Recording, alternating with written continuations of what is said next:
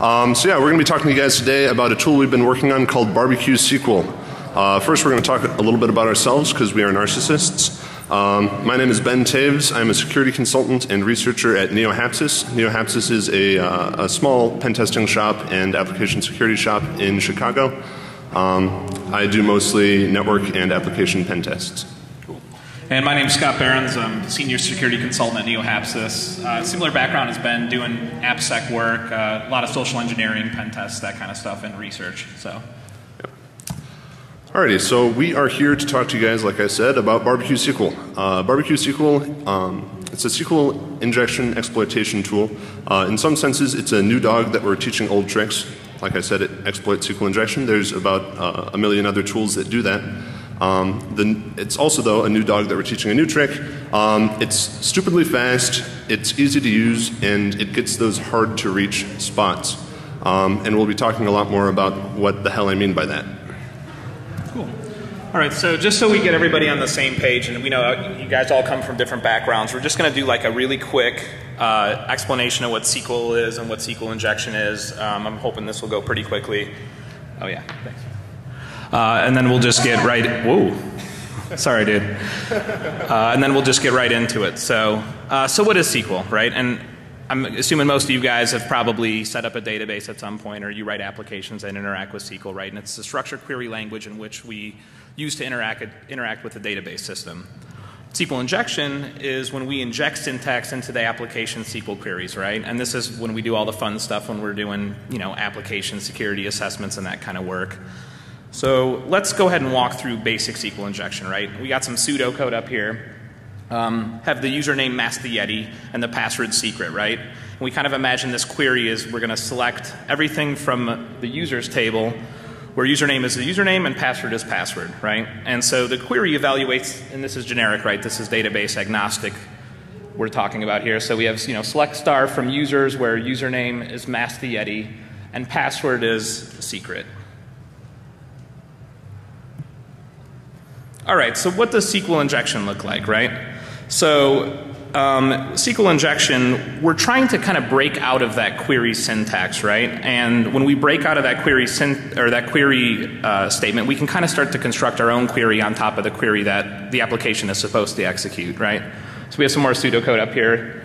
We're inserting in the value uname, so we can kind of imagine like a web request, right? Uh, you know, you're passing in parameters and whatnot. So we have the username parameter, and the password parameter, and we're going to go ahead and pass in pwned tick or uh, one equal one. There's a typo there. Um, basically, that that's kind of going to when you look down at where the way the query evaluates to, you see that it kind of basically breaks us out of the way that the query looks. So if we step back and look at how the query should look, inserting that tick symbol allows us to escape out of the query and basically say, well, if the username is is pwned, or and or it's one equals one. Um, and since one equals one always evaluates to true, um, we basically uh, we basically get get access to the system, right? So blind SQL injection, which is what we're going to mainly be focusing on, because this is the primary um, use case for our tool, is when you're still trying to alter SQL syntax, um, but you really can't see the results of what you're doing, right? So it's not like you're injecting something and something's getting displayed to the screen showing you what you're executing. You're actually more interested in other kinds of use cases, um, which will give you clues on it if your injection string is working or not. Um, it's a little bit more complex SQL syntax. It's not quite as trivial as some of the other SQL injection attacks that are out there. Um, but the primary goal is still dumping the database and you know winning as much as you can, right? So let's take a look at the blind SQL injection case. Um, and so we'll kind of walk through this, and I'm sure you guys have seen this before, but basically we're going to do the same kind of um, attack we were doing earlier, but we're not going to be able to see the results, right? Um, and so we're escaping out of the query with the tick, and then we're going to do a substring, which I'll explain in a little bit what that is, to grab the username. Um, and the query evaluates to something like you see below, um, and the stuff in gray is commented out. Um, the double the double uh, tick, or I'm sorry, the double dash is basically a comment character. And as you guys being familiar with SQL know that there's a couple different ways to terminate a SQL string. So let's go ahead and kind of walk through what um, what the blind SQL injection looks like or what these components are so you have a better understanding of how this works, right? So we're selecting star from users where password equals tick tick and username equals and then we kind of tick at that we kind of close out at that point and here's where we inject our code, right? So we're saying or the ASCII which is going to take a character and turn it into an int, the substring command which is going to basically slice the string all right, and the way that works is the it's going to slice the first position, so which happens to be a select statement. So basically, what we're saying here is we're going to grab um, the first. Um, we're going to first query the user object, and then you see the one and the one. Let me highlight where that's at right here. Uh, we're going to grab the first character, and we're going to grab one character. So we're going to select user. So let's say user's root, right? And we're going to convert root the, that first letter R into an ASCII equivalent. I don't know what R is, but um, and then we're going to say, is it greater than 63? 63 happens to be a question mark. If that happens to be true, we're going to have some different interaction with uh, maybe the response of the web server. So let's go ahead and say that we're, we're doing a Boolean based blind SQL injection, and based on the status code of the server, we might get a 404 if we do something that evaluates to true or we get a 200 if we do something that evaluates to false, right? So that's the thing with blind SQL injection. We're kind of trying to, we're keeping track of different objects of the HTTP request, things like the amount of time it takes for, all right, we have to do a shot here. Yeah, I'm sorry. it's DEF CON tradition, first time speakers, they have to do a shot. How about a round of applause for these guys? all right. Cheers. That's good. Mm. Yeah, I'll need those back. My eyes lit up when he pulled out the whiskey. So, yeah, so what we're really kind of talking about here is, you know, we're, we're thinking about these different ways that we can determine if what we're doing is correct and incorrect. And we're not going to spend too much time talking about the different ways to validate blind SQL injection. Um, but we're going to go ahead and just kind of move forward here uh, to kind of explain where this problem arose and why we kind of even started working on a tool in the first place when there's all these other awesome tools out there. Um, when you're doing blind SQL injection, um, there are a couple different ways you can kind of search through the data, right? And the way that the current scripts and tools work, typically it's some sort of binary search. Um, that binary search helps you determine if your character is, you know, the right character and it logs it, et cetera. Um, it tends to be one character at a time. Some of the tools out there have options to do multi-threading and whatnot. I think SQL Map you can do up to 10 threads at a time, but we kind of noticed that performance can be a little bit um, questionable and sometimes you might get some false data. And it's generally very time consuming, right? You're not executing one query to get the results you want. You have to execute multiple queries and you kind of have to step through all this kind of junk to get the end result. And like I mentioned earlier, there are awesome tools out there. Um, SQL Map, awesome. I, you know, use it on many assessments. SQL Ninja, uh, the Mole, all, all, they all have great features and they're sweet. But when these tools don't work, what do you guys end up doing, right? Um, you kind of end up maybe coming up with your own query. Maybe there's some weird nuance where your requests have to be double URL encoded, or um, you can't use ASCII for some reason, or maybe some, some command that you think you should be able to run on a database server just doesn't work. Maybe the database administrator has made some specific policy or rule that won't allow you to run some of these kinds of commands. So you end up firing up a Ruby script or a Python script and you kind of write out your own logic and like, it's kind of a pain in the ass, right? And it takes a lot of time and you, you know, you test and you debug, you test and debug. Um, and we were kind of thinking about what if there was a way where we could kind of take that process out of it. The, the whole part where you have to write these very customized scripts for when things don't work. And that's when we enter awesome artwork. Um, we take some really tasty meat on the left and some like sweet looking IBM graphic of how databases look. And then we enter barbecue SQL, right?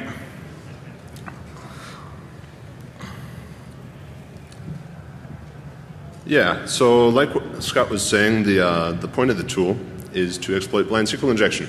Um, and hopefully you guys all are at least a little bit familiar now with what the hell that means.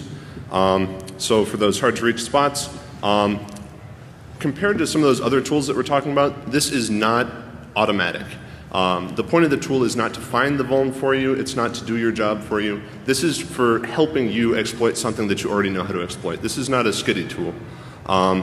So, and a lot of the, the benefits that we see from uh, making you do a little bit more of the legwork is that we can be very versatile, we can be very database agnostic. So it doesn't really matter where you're trying to use it, how you're trying to use it. Um, it's just performing the logic, it's performing the request. Um, so you do have to do more legwork, but you get a lot of benefits out of that, the versatility and speed. Um, we put a lot of work into trying, this trying to make this thing very performant, um, and I think we really did a pretty good job with that.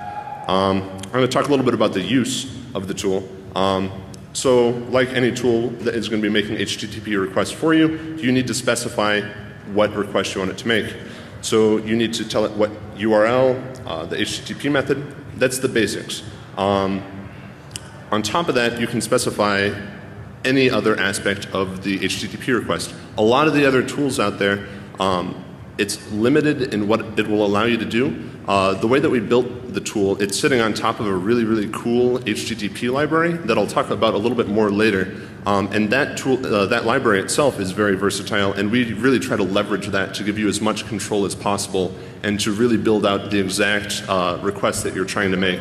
So you can specify um, cookies, headers, uh, encoding methods, uh, what it should do if it encounters a redirect.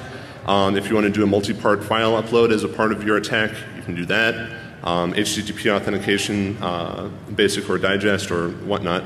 Um, if you need to uh, chain it through proxies, you can specify all of that. Um, so in addition to those things, which most other tools will hopefully allow you to uh, provide, uh, there's a couple other things that you have to provide. And this is when we start talking about uh, it being more of a semi-automatic tool as opposed to an automatic tool. You need to specify where the injection is going to go into that request. So it's not going to find the vuln for you. It's not supposed to find the vuln for you. This is an exploitation tool. So you need to tell it where the, where the vulnerability is, uh, where it's going to be injecting the SQL logic, uh, the SQL syntax into the existing request. Um, additionally, you're going to need to specify what that syntax looks like. Uh, this is what allows us to be database agnostic. Uh, for people who've worked with a variety of databases, there's a lot of syntax variations, which is kind of crazy because it's SQL, you know. Uh, but if, I don't know, whenever I uh, find myself trying to exploit SQL injection on an Oracle database, I have the hardest time because I'm not, I, I don't like selecting from dual. If I want to select one, I don't want to select from dual. Um, I, I, hate Oracle. Uh, I'm, a My, I'm a MySQL guy, so I, I, I, like the fact that this, it doesn't matter what the database is uh, because you are the one providing the syntax. Uh, once again, this is what makes it a semi-automatic uh, tool though as opposed to an automatic tool. Um, and by the way, we made up that verbiage. Uh, there's no such thing as an automatic, like, we made up the term semi-automatic. Hope that's okay with you guys. Um, so yeah, um, that first part I was talking about, where you specify where in the, uh, where in the query, or I'm sorry, where in the HTTP request the, the, the SQL syntax is going to be injected, uh, where, the, um, where the vulnerability is essentially. I don't know if I can get my mouse. Yep, there we go. Oh shit, this is going to be hard. All right, so right over here, uh, you see what looks like a templating language, and that is because it is a templating language. Um, I opted not to use an existing templating language. I kind of rolled my own because it was simpler for this. Um, so here you see a URL, or here too actually. Um, you see the URL, and then you see this thing called query inside of this dollar sign curly brackets. So that is where the syntax, that's where the vulnerability is, that's where the SQL is going to get injected into the URL. Um, but the cool thing is, I was telling you how you can uh, use or how you can specify pretty much any part of the HTTP request. You can, you can specify anything you want. You can also put the injection anywhere you want. So if you have some, like if, if the, uh, if the vulnerability is in the host header or if it's in the user agent or if it's in a cookie or if it's in the file from the multi-part upload, uh, I'm pretty sure you could even do injection in the HTTP method. I think that that would probably break a lot of things and probably not a good idea um, and probably wouldn't work. But uh, yeah, so you use this templating language uh, where you specify query with this uh, in these brackets. Uh, it's kind of a templating tag. And you can put that anywhere. So down below you see the data. That's going to be the data section of the URL or of the HTTP request. You can put it in there. In the cookies, Um, one of the other kind of cool things that I tried to do, and I got some flack from some Python guys for this, um, I made it so for specifying cookies and for headers, you don't have to write it out like it is in the in the raw HTTP packet because that's how a lot of tools are. You can specify it as a dictionary, like a Python dictionary. Um, I, I, know a lot of security folks are Python people, so I thought that would be really handy because I really hate trying to like specify in SQL map how I want it a header to look. Um, so yeah, uh, as you can see here with cookies, and it's like, like I said, exactly the same with headers. Oh shit, I lost my mouse. Sorry, the fourth line down. Uh, uh, you can specify cookies and headers as a dictionary, and I think that's pretty cool. Um, but yeah, the benefit of this, um, making you specify where the vulnerability is, is that the tool doesn't have to understand your data. You can be doing some totally bizarre serialization format, anything you want. The tool doesn't give a crap. The tool just wants to know what your request looks like and where it needs to inject. Um, so yeah, this uh, serialization formats, if there's some weird processes that you have to go through to make the request work, uh, doesn't care about that. Encodings doesn't care. We'll actually, we'll actually walk through a demo later. Um, yes, something we've been seeing very frequently on uh, web application assessments is requiring HMAC signing of particular values and the, the URI. Um, we've been seeing this more often, so we actually will talk about ways to use the tool to do some of the more kind of advanced stuff that might be a little bit more difficult using some of the other tools that are out there. So, yes. Um, so yeah, and then the second thing that I said that you need to provide that you might not need to provide in other tools is some of the SQL syntax. Uh, again, here you see the templating language that I was talking about. Um, so here is the uh, what is going to be injected into the spot that we were talking about in the previous slide. Um, and you're going to need to specify a variety of things in order to make a blind SQL attack, uh, excuse me, a blind SQL attack work.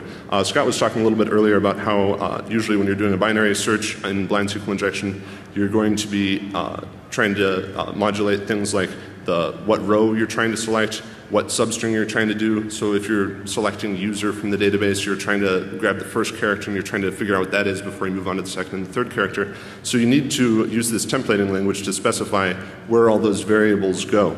And we'll, uh, we'll actually, when we do the demo, we'll step through um, pretty much all the tags that you can use when using the tool and how they work. So yes. Uh, if this seems a little confusing now, it actually will make a lot more sense when we go through and run the demo. Yeah.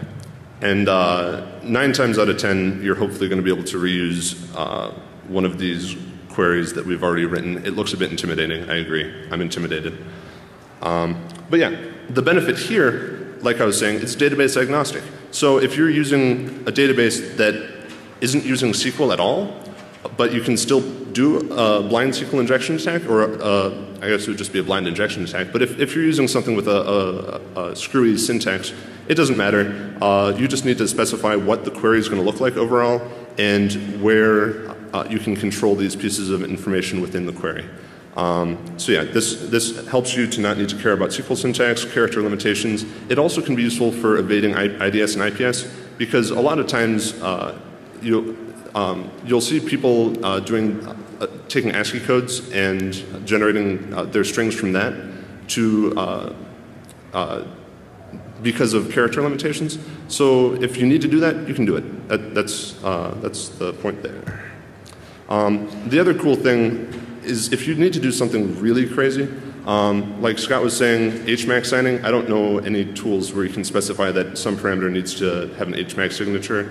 Uh, let's say you need to do quadruple URL encoding. If you need to do something weird, uh, we put in hooks. So you can provide your own Python that will uh, that it's a method and it will be provided with each HTTP request before it's sent. And if you need to do something absolutely bizarre, you can specify that that needs to be done. And that's another thing we're going to talk about in the demo. We're going to give an example of the HMAC signing. Um, and I think this is one of the really cool features about this tool is that it really allows you to uh, totally customize things. If you need to do something totally crazy, you can do it. It's not our problem. It's not the tool's problem. You just need to do it. Uh, so you need to know what you're doing. Um, but this uh, there, and there's multiple uh, places where you can get the hooks at. So if you need to do weird processing on the response, you can do that too. Uh, pre-request and post-request, these are all things that I'm borrowing from this request HTTP library that I was talking about. We'll get into that a bit more later. Uh, now I believe it's time for a demo. if anyone's still awake. I love my nuts. What's up? Oh, oh yeah, this is the chopper guy. All right, so Oh yeah, Scott. Uh, what website should we try to attack? Attack the NSA. Oh, you think we should try to go after the NSA?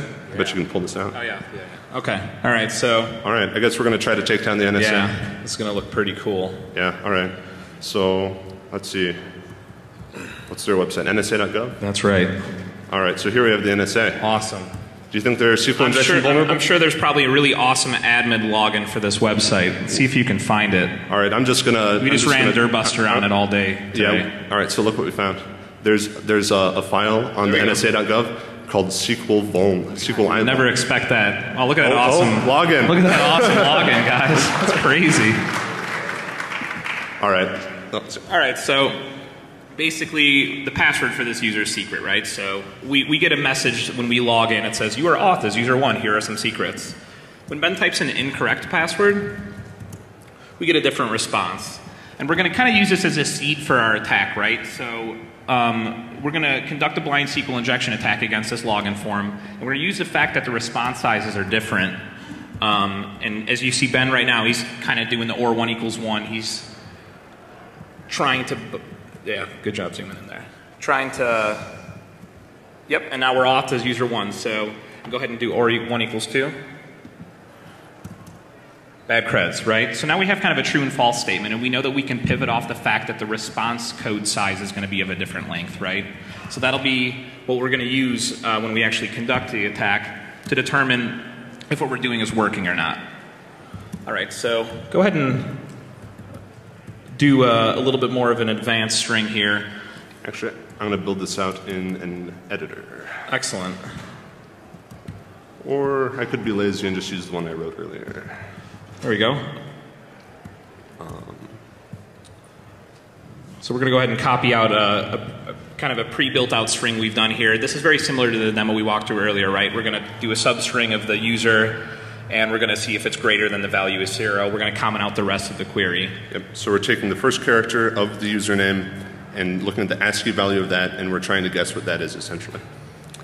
Right, so this is pretty straightforward um, blind SQL injection. We wanted to keep the demo simple, but as you can kind of imagine, that query string could be anything you could possibly imagine. And we'll show you why that's the case when we actually run the tool.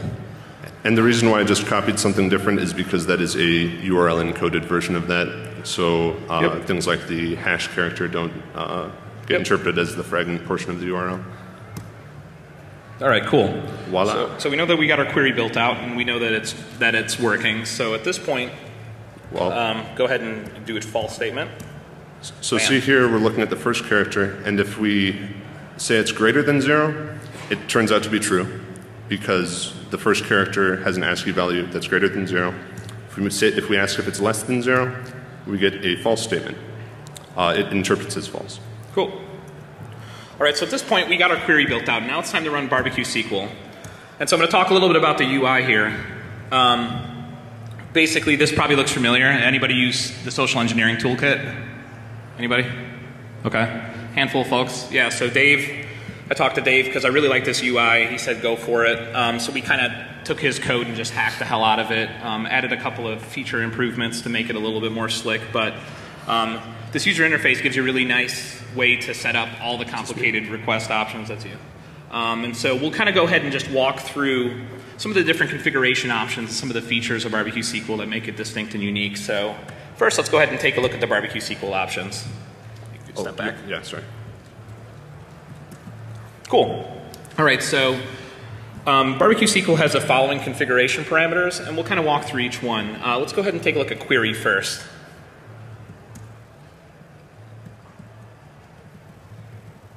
Cool. Can you guys see that's okay, or is it pretty hard to read? Working on it.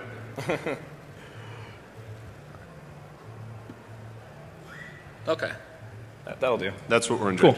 So this is what we're injecting. So I'll talk a little bit about the template tags here and, and how this works. Um, as, we, as I kind of mentioned before, um, you need to specify template tags for particular um, areas of the query that you want to inject in. Um, and it's pretty straightforward here. We're basically saying we're going to do the, uh, the substring uh, for selecting data from data. And we're going to use row index, right? So row index is going to specify which row we're, we're, we're going after the data. Um, character index is going to specify which character position are we going after. You'll kind of see this notation that we have um, a parent, or um, uh, colon, and then we have a number. These are kind of the default values you want to specify. So we're basically saying we're going to start with row one, we're going to start with character position one, and then we need to specify our comparison operator, right? Typically, you're going to want to specify the greater than operator. Um, and then we're going to compare that against the character value zero. Once again, that's just a default value, um, so you don't need to be too concerned about that. There's a couple other tags that you can actually specify that, that we're not using in this example. Let's say you're doing a time-based blind SQL injection attack. Um, and you'll see in the description here, we try to do a pretty good job with the documentation. You can specify the template sleep, for example, and then you can specify the number of seconds or milliseconds you want to sleep. Um, so you can do blind time-based blind SQL injection as well. And one other thing that's important to note here, uh, we were talking about how queries will either evaluate as true or false essentially based on the comparator value. So these default values, you want to build out something that's going to evaluate as true. And that way the, the tool can start to learn what a true response looks like versus a false response when it starts switching between the greater than and less than symbol. Exactly. All right, so let's go ahead and uh, so a couple other options we have here, and we'll just kind of just walk through them. Um, we have the CSV output file, so if you want to, you can dump all your results to a CSV. Um, we can specify techniques. Uh, one thing that Ben was doing when he was doing the research for some of the libraries here was could we improve our exfiltration of data by doing a frequency-based analysis search? And in some circumstances, we actually found that it was more effective. But in general, binary search is what we recommend using. Um, comparison attribute, um, you'll see when you actually click and take a look at that particular section, but you can specify, go ahead and show that so they can see all the different options. We can, we can determine if we're doing the injection correctly based on the following attributes status code, URL, time, size, text, content, and coding, right? So you have all these things you can kind of queue off of, and the tool's intelligent enough to help you determine if those things are changing or whatnot. So let's go ahead and do size. Cool. Uh, and then one of the really sweetest things about barbecue SQL is concurrency. Um, ben will go into greater detail when we finish the demonstration about how this tool is wicked fast. Um, but here you can specify the number of concurrent micro threads you want attacking the database. Um, we're going to go with 75 because that sounds pretty cool. So, one other thing to say about the uh, the comparison attribute. Um, so this is this is what's changing when you switch between true, true and false. So if it's time, if the query takes longer to evaluate when it's true, you specify time. If it's the size of the response, you specify size. Uh, just yep. to make that clear. Cool. And then um, let's go ahead and take a look at the HTTP parameters. Um, at a minimum, you need to specify the URL and the method that you're going to use. But as we kind of talked about earlier, you could specify any of these different um, attributes. You could specify data. You could specify if you need to provide auth, um, basic, basic auth or something like that. So um, here you just kind of configure. And one thing we should mention is that um, if you enter something incorrectly, so let's say you're typing out a URL or some sort of value and you just botch it and you have like, you know, seven backslashes or something in it, um, we have these validator methods, and we'll talk a little bit about that later, that'll make sure that what you're entering is like actually well formatted data. And that can be kind of handy when you're setting up a really complicated request if you imagine, uh, you know, doing that on command line and it not really working very well, and you're like, what the hell, what did I do wrong? Well, here we're trying to check each individual component, and we'll spit something out and says, you're not doing it right. Yeah, when, so. your when your SQL mat command takes up the whole terminal. Yeah. Yeah, that sucks. All right. Uh, do we need to talk about this one? Yeah, so, um, so in the URL, you'll see that we're basically specifying the tag injection, right? So this is where we're going to say, this is where we're going to inject our query into. The tag must be specified in some part of the HTTP request. As Ben mentioned earlier, it doesn't need to be in the URL. It can be in a cookie. It can be in a header. Um, it could be in pretty much any part, any object of the HTTP request. So, all right, so let's go back. And now for the fun stuff. So let's go ahead and run the exploit.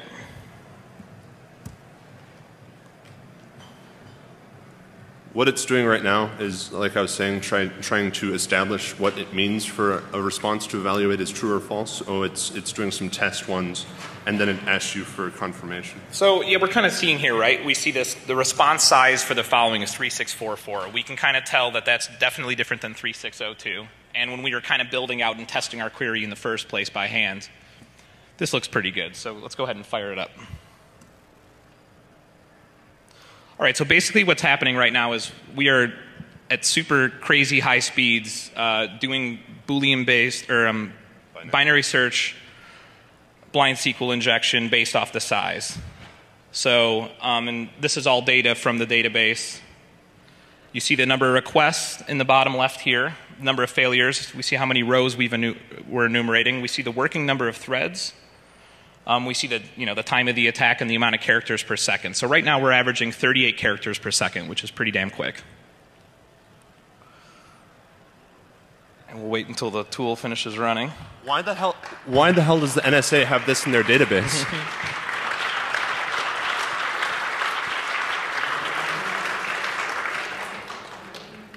cool. All right, thanks, guys. So um, at this point, it dumps out all your data into a list object and a, a, Python list. Python list, and you can just hop into your Python interpreter, start working with the data, right? So, you know, Ben's going to go ahead and just reformat it, maybe print it out, clean it up a little bit. There we go. Um, so, you know, it gives you the data right at your fingertips so you can start munging with it and formatting it the way you want to format it. Oh. Cool. All right. Back to PowerPoint. Alrighty, so like I mentioned earlier, one of the things that we really tried to work hard on with this tool is getting it to be very, very fast. Um, there's two main things that we were playing with with this. The first, the first is how we're making our HTTP requests. So a lot of tools, and uh, I historically also have used threading when I need to do many things at the same time. Um, we're not doing that here. Um, the other thing that I'm going to be talking about in terms of speed is the search algorithm, algorithms that we're using. Uh, Scott touched on that briefly earlier. I'll cover it in more depth uh, very shortly. So first, the concurrency. I'm using a library called G-Requests, and I'm sure not many people have heard of that. It's a combination of Python's G-Event and the uh, uh, Python requests library. Um, first, I'm going to talk a little bit about what G-Event is. G-Event is a coroutine-based Python networking library that uses Greenlit to provide high-level synchronous API on top of the libevent event loop. All right, can I move on? Yeah. All right, so I'm going to talk a little bit about, about what that means. Um, so what we have is coroutines, and you can think about coroutines as being functions essentially, but you're spawning a bunch of them that run at the same time. So this seems familiar if you've done threading. Um, but the thing here is that we, the events or the um, the process scheduling is much more explicit, and we have much more uh, access to that. Um, so you're spawning up all of these um, all of these functions, all of these coroutines. Only one of them is actually running at a time. And what happens is that it runs until it hits blocking I/O. And what that what blocking is is uh, when you're trying to read and whatever you're trying to read isn't ready to be read. So, for example, if you're trying to read off of a socket, that's blocking I/O. So if you have one thread and you're not doing any sort of event-driven stuff, when you hit blocking, the program just hangs and waits until it can read. Um, so with G-Event, though, when it hits blocking, it jumps to that next coroutine, and then execution picks up there. Um, and then as soon as that coroutine or that function hits blocking I/O, it jumps to the next one and then to the next one as it hits this blocking. And what you wind up with is what's called an event loop, where you have something that seems a lot like threading, but you're not actually doing threads, and you aren't you don't have a lot of the overhead that you have with threading. Um, but it's, it's uh, functionally like threading. And this is different also than a lot of the other event-driven stuff. This is not callback-based. This is coroutine-based, which makes it a lot more accessible to those of you who've worked with threading before. And what you can do, though, is because you have this, uh, this ability to jump to the next coroutine when you hit blocking, you can have hundreds of outstanding requests. So you can make an HTTP request, and then when you're waiting for the response, you're not sitting there waiting, you're executing code in the next coroutine. So this is what allows you to have a lot of shit going on at the same time. Um, and we get a lot of performance out of that. Um, so then the other thing that gRequest does is it combines gEvent with requests. Uh, request is a really, really cool library. Um, they call themselves HTTP for humans. Um, this was designed by, designed by Kenneth Wrights. Um, he's a really awesome API designer. He's written a lot of cool stuff. He's a great developer. Um, I've had fun uh, trying to contribute to this library. Um, it's really, really nice. For those of you who are Python people and who've worked with URLlib2, I really, really, really hate URLlib2. It sucks to use. Um, I'm sorry if whoever wrote that is here. I really doubt that they are, but uh, I, I, don't like talking crap about other people's stuff, but uh, I, I, hate URLlib2. Uh, this really is request, or, HTTP uh, for humans. It makes your life way easier if you're ever doing anything like this tool. Um, so yeah, uh, when you combine gEvent and request library, you wind up with gRequests. So you're able to do good evented HTTP in Python, which is a pretty cool thing to be able to do without much work. Um, the other main thing that we're doing for performance is we're using different search algorithms. So when we're talking about um, how we're, we're, grabbing that substring and we're grabbing the first character of the username and we're getting the ASCII value of that, um, the, what you intuitively might want to do is you want to check that value against each possible ASCII value. So this is what's called a linear search. It takes a long time. Uh, here's kind of an example. Hopefully that makes sense. If it doesn't, I'm sorry.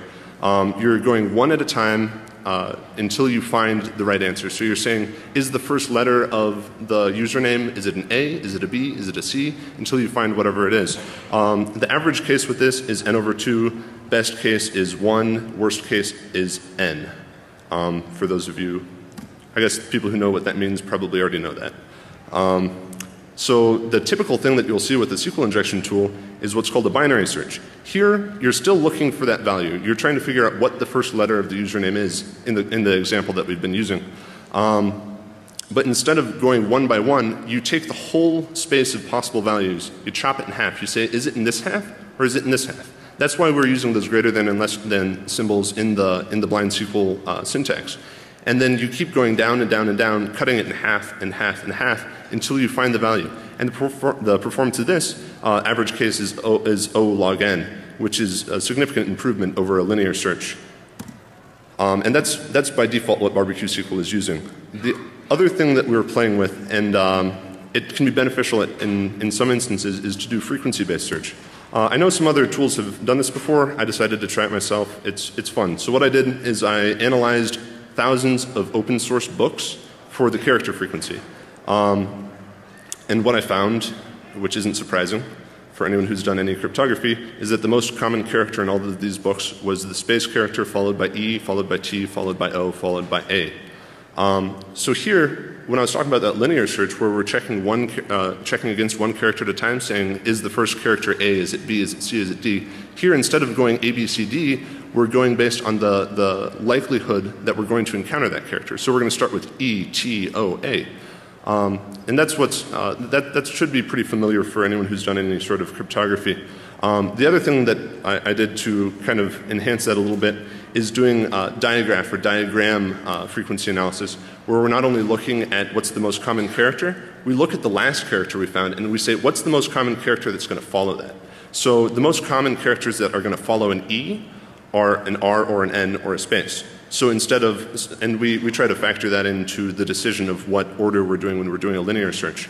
Um, so if you think about English, you know, if you, if you see an L, you're probably going to see another L after that. That's the most common thing. So that, that's what we're talking about here. Um, this is very, very effective against non-entropic data. So if you aren't looking at hashes, if you're looking at English, if you're looking at plain text, uh, it's very good uh, because there is that structure and that order and that, that well-defined frequency. Um, so here with English, uh, I was essentially dumping the books that I had uh, previously used for generating the, the sample. About 10 requests per character. Uh, Python, which is a little bit more structured uh, because it's a programming language, we see even better performance with 8 requests per character. I think I was trying to dump the whole uh, Django source code, um, which is kind of a lot, but I wound up getting 8 requests per character, uh, which is good. credit card numbers, um, I, I, got about 5.5, which is kind of funny because uh, with a normal binary search, you'd, or uh, excuse me, with a normal linear search, you'd expect to get 5 exactly, but somehow I managed to get 5.5. So not quite as good. Yeah, I kind of screwed that one up, I guess. Um, yeah, but when you compare it to a binary search with English, you get 12 characters, or 12 requests per character, so you get uh, a slight performance improvement. One other thing we kind of wanted to step through real quick was, uh, why don't you show the hooks? That we were working on today. Sorry, yeah. So yeah, before we were coming here, we were trying to think of uh, we we added this functionality that we were kind of mentioned earlier that you can kind of hook into the request object to do really funky stuff when you're doing blind SQL injection. And one of the things that I came across on a recent assessment is that I needed to I needed an HMAC sign each request, and it was a kind of a pain in the ass. And um, you know, you kind of imagine that like if you're trying to do an assessment and you have to do that, you're like, well, this is kind of frustrating when I have to whip up some Python proxy and do all this stuff. Um, you find blind SQL injection on that type of um, object, you can use the hook code that Ben will talk about here. Yeah, so uh, like, like I was saying, we have these hooks. So you can intercept each and every request right before it gets sent, or you can intercept the response right after it gets received. And what this allows you to do is it allows you to do funky things like HMAC signing uh, parameters. So the way that you implement this, or the way that you use it with the tool, uh, the way that you use it with the tool is that you uh, um, you create a file called barbecuesql underscore hooks.py in your current working directory. And if anyone can think of a better way of doing this, please let me know. Uh, it's hard to um, import in Python from arbitrary files like user defined files. Uh, if anyone knows a good solution for that, let me know. But uh, so yeah, you have to make the barbecuesql under, underscore hooks.py, and then in here you'll define your own functions. And uh, for a request hook, you're going to have a function that accepts your request. And this object is from that requests library that I was talking about. And that, once again, if you haven't checked it out and you're a Python person, you should definitely check it out. Um, so yeah, it's uh, going to take the request object, and then you can do whatever the hell you want to it. So if you want to grab the URL and you want to parse it, is what we're doing here, and then we're HMAC signing uh, the parameter or the uh, the query portion of the URL, grabbing the hex digest. Now we have an HMAC. You can put that back into the URL and then return the request. So now you just, you're HMAC signing every single request, which is pretty cool. Right, and we can do all sorts of things. Another hook file that we actually wrote was the quadruple URL encode. Now, I've never come across that on an assessment, but sometimes you, you see double. Sometimes you see double if you're attacking an Oracle database or something, right? So, um, I don't think we have probably enough time okay. to do the demo, so we'll just cool. step back. Um, Is that all for me? Yep. No. Yep. Okay.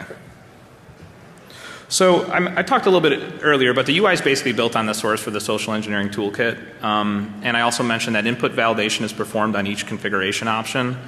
Uh, this is really handy, at least we found it to be pretty handy because um, you know, you're setting up these really complicated requests and things can get hairy pretty quickly, right? Especially if you're doing something weird. Um, so by performing input validation on each of those objects within the UI, we can kind of we can kind of help you or guide you along the way of you building out your complicated request. Let's say you build out that really awesome complicated request and you're like, all right, well this was you know kind of a pain in the ass. I got it all built out. You can go ahead and export that to a configuration file. We're using the config parser library in Python, so it's really easy to work with. Um, from there, you could kind of just go and let's say you've built out this complicated request you can kind of copy some of the configs and maybe all you're at this point just changing the query object, right? Um, and as we also mentioned, you can also export the results as a CSV file. So in a nutshell, that's barbecue SQL. Um, and you know, here's our credits and whatnot. Uh, we wanted, th once again, thanks uh, Dave Kennedy for the social engineering toolkit stuff and him being so kind letting us use his awesome UI. And we thank you guys for coming and uh, hearing about this new tool. And also, NeoHapsys is hiring if you guys are in AppSec and want to talk to us. Come talk to us. We get a bonus if you come work for us. And download the tool. Basically, get, get access to the system, right? So blind SQL injection, which is what we're going to mainly be focusing on because this is the primary um, use case for our tool, is when you're still trying to alter SQL syntax, um, but you really can't see the results of what you're doing, right? So it's not like you're injecting something and something's getting displayed to the screen showing you what you're executing. You're actually more interested in other kinds of use cases, um, which will give you clues on it if your injection string is working or not. Um, it's a little bit more complex SQL syntax. It's not quite as trivial as some of the other SQL injection attacks that are out there. Um, but the primary goal is still dumping the database and you know winning as much as you can, right? So let's take a look at the blind SQL injection case. Um, and so we'll kind of walk through this, and I'm sure you guys have seen this before, but basically we're going to. Um, so yeah, we're going to be talking to you guys today about a tool we've been working on called Barbecue SQL. Uh, first, we're going to talk a little bit about ourselves because we are narcissists. Um, my name is Ben Taves. I'm a security consultant and researcher at NeoHapsis. NeoHapsis is a, uh, a small pen testing shop and application security shop in Chicago. Um, I do mostly network and application pen tests. And my name is Scott Behrens. I'm senior security consultant at NeoHapsis. Uh, similar background has been doing AppSec work, uh, a lot of social engineering, pen tests, that kind of stuff, and research. So. Alrighty, so we are here to talk to you guys, like I said, about Barbecue SQL. Uh, Barbecue SQL, um, it's a SQL injection exploitation tool. Uh, in some senses, it's a new dog that we're teaching old tricks. Like I said, it exploits SQL injection. There's about uh, a million other tools that do that. Um, the, it's top of the query that the application is supposed to execute, right? So we have some more pseudocode up here. We're inserting in the value uname, so we can kind of imagine like a web request, right? Uh, you know, you're passing in parameters and whatnot. So we have the username parameter and the password parameter, and we're going to go ahead and pass in pwned, tick, or uh, one equal one. There's a typo there. Um, basically, that that's kind of going to, when you look down at where the way the query evaluates to, you see that it kind of basically breaks us out of the way that the query looks. So if we step back and look at how the query should look, inserting that tick symbol allows us to escape out of the query and basically say, well, if the username is, is pwned, or, and, or it's 1 equals 1. Um, and since 1 equals 1 always evaluates to true, um, we basically uh, we run stuff when we're doing you know application security assessments and that kind of work. So let's go ahead and walk through basic SQL injection, right? We got some pseudocode up here.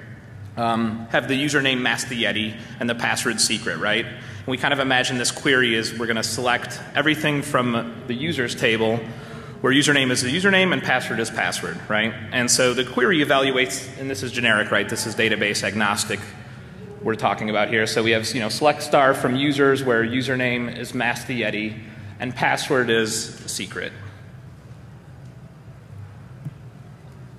All right, so what does SQL injection look like, right?